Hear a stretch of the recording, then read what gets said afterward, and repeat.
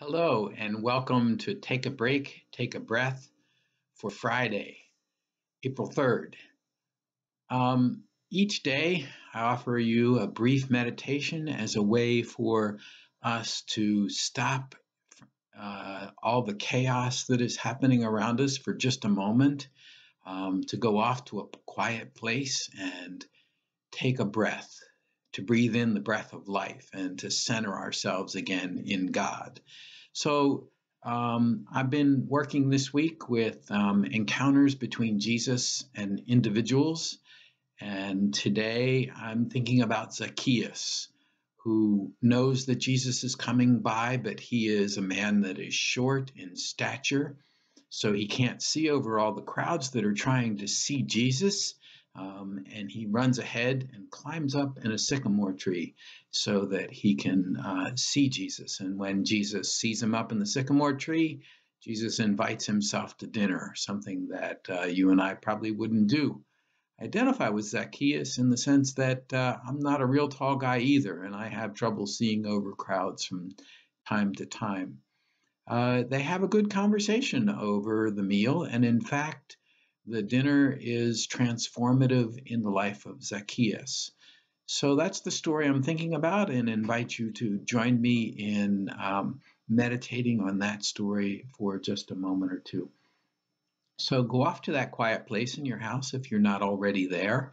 Um, close the door if you have a door, and uh, sit down in the chair and get comfortable. Um, and close your eyes Take a deep breath. And as you breathe in, breathe in the breath of God. And as you breathe out, breathe out all that would separate you from God. Breathe in, breathe out. Breathe in and breathe out. And imagine that God's Spirit comes to you like slipping into the warm water of a bath. And as you feel that water, as you slip into that tub, and you feel that water, it brings you peace and comfort and relaxation. And you know that that bath of warm water has been prepared for you with great love and care by God our Creator. So feel that water. Feel it on your feet as you first step into that bath.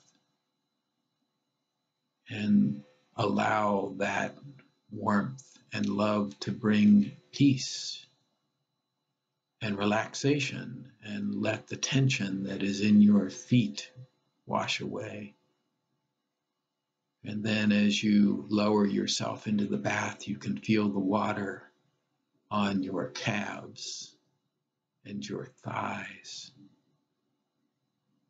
And the tensions that you hold in those muscles drifts away and washes away because we're in a bath. and then let that relaxation and that warmth spread to your hips and to your belly and your back. And imagine that that relaxation washes away and relieves all the tensions you're holding in all of those places in your body. Then slip down so that your shoulders and your arms and your hands all feel the warmth and care that comes from this nice warm bath. And then feel the warmth as you take some of that water and put it over your neck and the top of your head.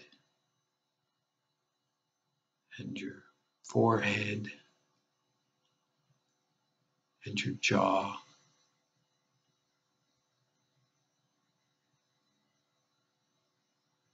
You are washed in the warmth and love and peace of God our Creator.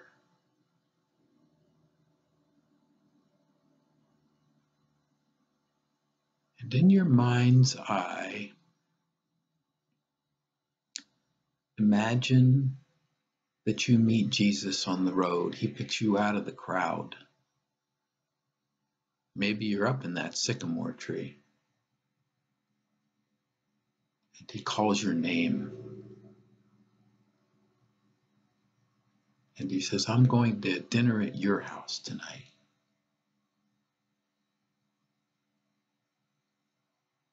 So the two of you, you show him the way back to your house. And you're seated at a table. And there is a chance for a conversation now. What are the things that you will say to Jesus this day? And what are the things that Jesus has to say to you? on this day.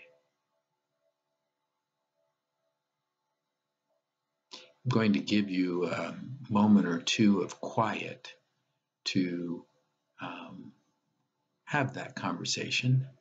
If the times haven't been long enough in the past, if you've been watching every day, just hit pause and then when you're ready, um, unpause it and uh, watch the rest of the video.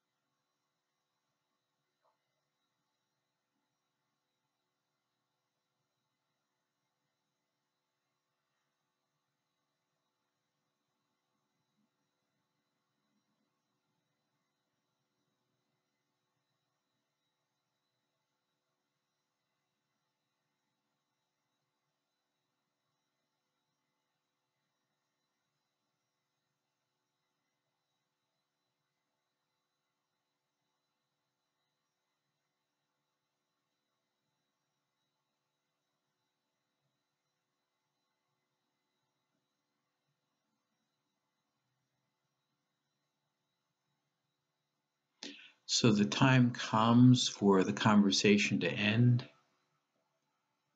And you say goodbye to Jesus in whatever way you need to do that, whatever way is appropriate. You can always come back to that conversation, you know. And then once you've done that, allow that image to fade away and bring yourself back to the room where you are. And when you are ready, open your eyes. Well, that's take a break, take a breath for Friday, April 3rd. Um, I don't know about you, but this was a day when I really needed to do this, not just for all of you but for myself, it's been a very chaotic morning for me. And so to take a break and take a breath and to center myself once again in God was um, a helpful thing to do for me. Uh, I hope that the, it has been helpful for you. Um, if you have any feedback for me, send it to rick at prospectchurch.org. And there'll be another one again tomorrow.